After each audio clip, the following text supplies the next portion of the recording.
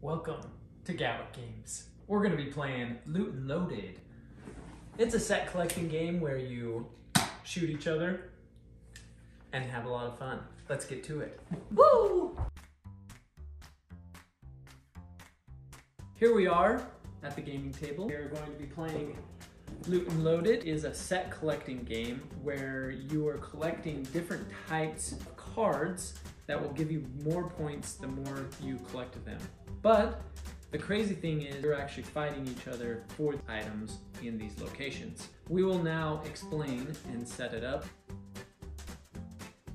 So to get started here, um, you are going to take one location tracker for however many player, players are playing and place them onto the table. Next, you're going to pass out five player cards, one location marker to every player. Your card is a little bit different, although they all play exactly the same. Now you're going to select which cards you will be using in the game. First, we're going to put together the deck that we'll be using in the game. So we're going to be playing a three player game today. So first, we are going to start with three of the basic cards, which are the orange cards.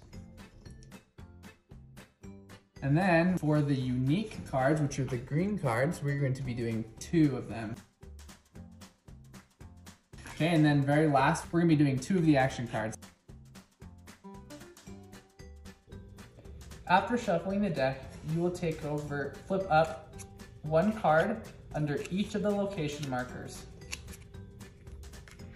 Now, find the cards that have the white back and place them in a pile near the board. These are the white flag cards that will be used during the game.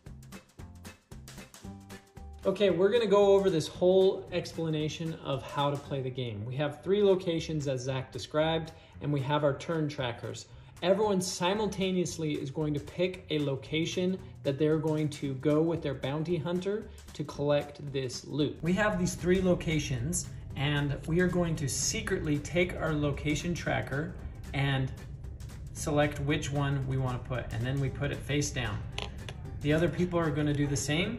They're going to put it on this two and he is going to secretly put it on two as well, but they don't know that. All at once, everyone reveals these two are coming to the same location and this one is coming to this location, number one, and this person gets this one. Now, these two are going to face off in a duel to get this card. Zach will explain that duel in a second. So, in the example that Wes had just explained, blue and orange picked number two, which is the badge of humility. This means that they're going to have to duel for it.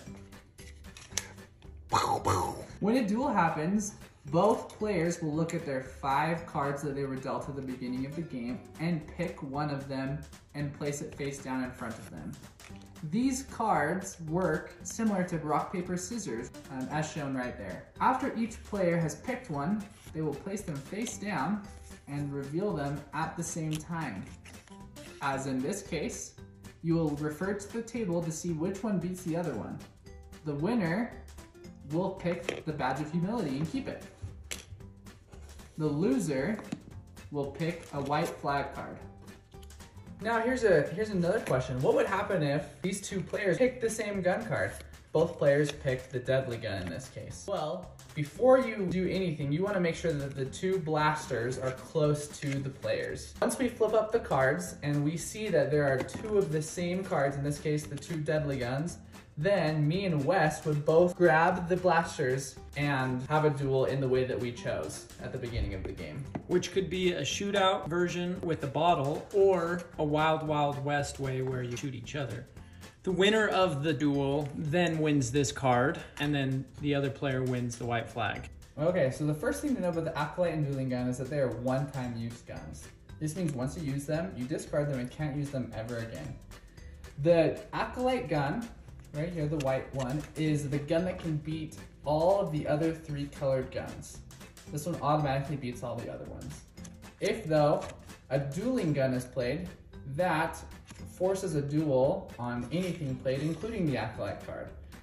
So essentially, if you think that somebody may be playing an Acolyte, a dueling could be your best bet to try to counteract that.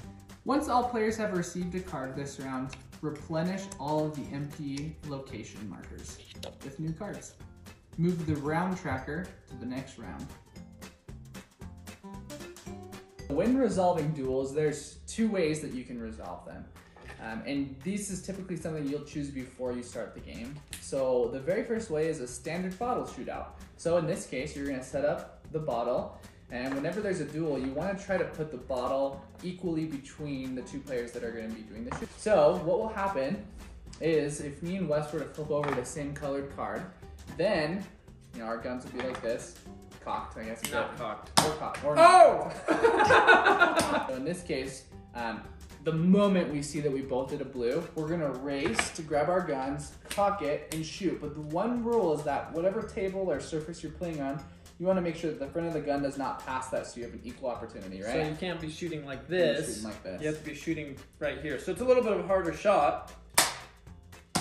The other one is the wild wild shootout. So what you do in that one is you're gonna take the guns and you're gonna put them about 10 feet apart from each other on either side of the table. So I'll put mine over there, Wes will put his over there on a table, on, a, on the ground, however you want. And then, and you're also, yep, you're also gonna put the bullets together with the guns. I'm gonna put mine over there. And then same thing, the moment that we both see that we both played the blue card, we're gonna run over to the guns and we're gonna shoot each other. shoot each other. Me So too. whoever shoots and hits the person, that person wins the card from the location. Like they did a duel because you're bounty hunters, you're shooting each other. The other person gets the white flag and says, "Oh, "I retreat." um, And in both scenarios, if you both miss, you go and you grab the bullets and you go again. Alrighty. Zach and I are gonna play a quick game. This all, and we're gonna set this up by placing this down. Okay, a four-leaf clover. Oh, Queen's jewels, and a crystal flower. So that's how we're gonna start. So Zach and I are going to secretly select which one we're going to put, and I think Zach is going to go for Queen's jewels. Hmm. Um, so I'm going to go for something different than the Queen's jewels. And we'll flip on three. One, two, three. Ah, of course. I went for the Queen's uh, jewels, just Wes messing with them. Okay, so he got that. You leave these face up and you replenish And move another four leaf clover and another crystal flower. I don't know how well we we we Shuffled. shuffled. Okay. Um, I think Zach is going to go for something specific, and um, I'm gonna try and battle him for it, but I don't know if he will actually go for it. We'll see. Okay, on three. One, two, three. of course. I knew you were going for that thing, so I wanted to battle you. Alrighty. All right, at this point, we get our cards. We have the guns ready right here, and we're going to be shooting this bottle here on the um, on the table. and Hmm. so again, you have to remember which cards, which guns we beat which, and um, the valiant beats the not the sneaky. The valiant beats the deadly. The deadly beats the sneaky, and the sneaky sneaks up on the valiant to beat him. And as usual, it shows him here in that order so you can remember. I think that he's gonna put down this, so I'm gonna put down this. Okay. Let's see. All right, on three. One, two, three. Oh boy. Alright, alright, Oh, dang it. Zach beat me. So that was a duel. And um, Zach wins this guy, and I unfortunately wave my white flag, put it here, and we replenish. Of course, it's another lucky four leaf clover. So if Zach gets this third one, then he's Gets to draw a new card. gets to draw a new card as the bonus, and we move this to the third. and we put Um, our guns back into our hand. Going on to the next one. Um, I am going to go. I'm going Here. for probably the crystal flower. Zach is not going for crystal flower, but okay, here we go. One, two, three. Oh, you didn't even go for it? No, I told you I was going for the crystal flower. Wow. I was afraid you were gonna duel me. I was gonna duel him. We didn't shuffle these very well, so um, I'm putting different ones out. Okay, so next round, we're on round four here. As you can tell, sometimes the rounds can go pretty quick and sometimes they can be a little bit longer.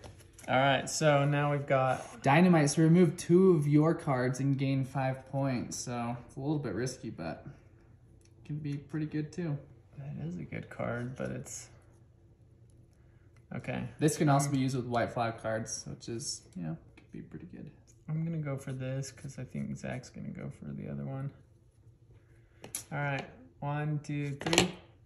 I knew it. and so when you use the copycat, you have to choose the card immediately which one you want to copy.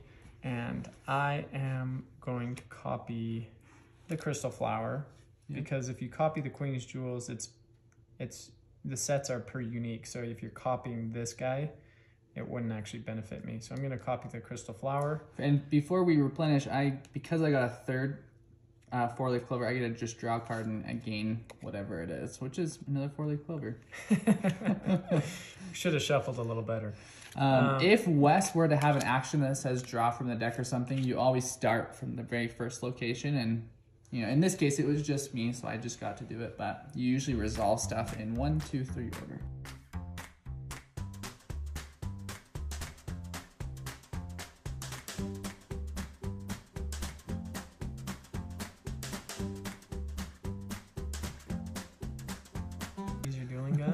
Gun or what? One, two, three. I mean, yeah. All right. All right, so the duel is we have to put our hands on our side and Trent, Trent's in the room. Trent, call it out. Three, two, one, duel. Three, two, one, duel. Oh, I missed! Where'd my ball go? Oh, dang, I missed again. He got a little crazy and missed it. I missed two times in a row. And that risk paid off for me because he didn't. He got a white flag instead. Oh. And that's the game. We'll explain scoring now. At the end of 10 rounds, you will score your points.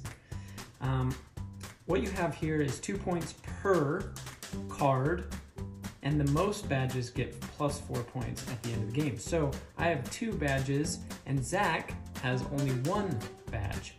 So that means that I get the plus four. So I get two, four, plus four. That's eight points. You can also get multiples. So if I had four snake oils, it would be worth 14 points. So it's a, so you can stack sets on each other. And that's the basics of scoring in Loot and Loaded. If you need further explanation, the rules have them in there. No!